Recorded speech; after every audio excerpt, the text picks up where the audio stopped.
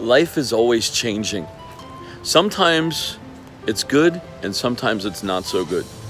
Some things go really well while sometimes they just don't. And sometimes you're happy and sometimes you're feeling really sad. But that's how life is.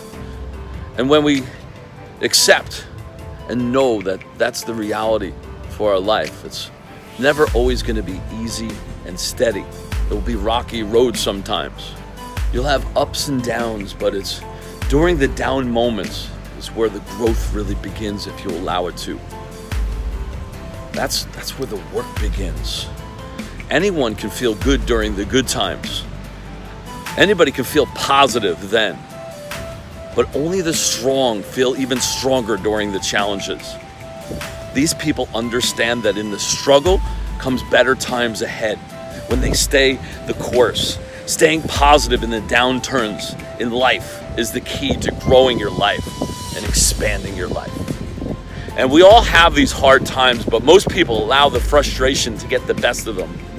We all get disappointed at times, but what you need to understand is that disappointment will either destroy you if you allow it, or it will propel you if you allow it.